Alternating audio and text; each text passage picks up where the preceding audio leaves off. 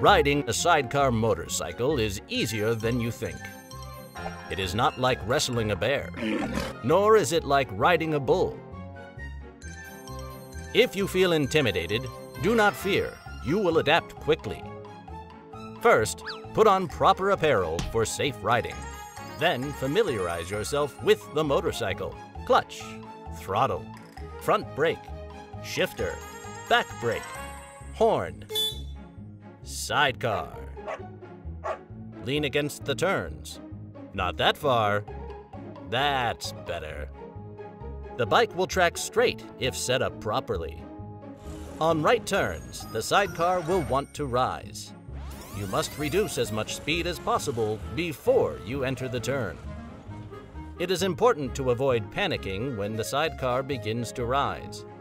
Panic can lead to an unnecessary and dangerous overcorrection.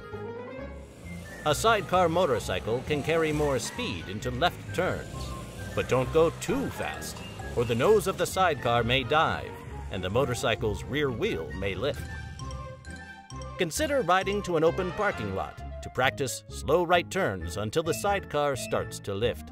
Get to know this sensation so it doesn't surprise you in real-world occurrences. An experienced rider can hold the sidecar wheel in the air with ease. Things to consider.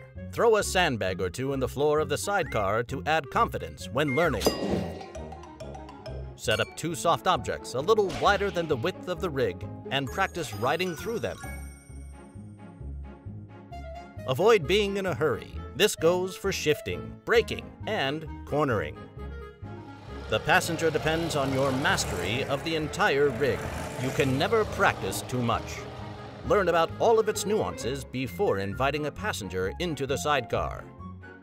Prepare for UDF, Ural Delay Factor. Plan on many delays caused by conversations with curious bystanders. You may ask yourself, why would one choose a sidecar motorcycle? For the extra carrying capacity. They are less susceptible to toppling over in slippery conditions. The sidecar passenger is more planted in the vehicle and has a less obstructed view forward. This instructional film is merely food for thought.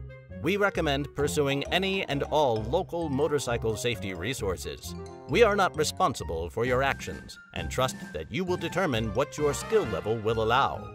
Don't ride over your head. Ride safe and always wear a helmet.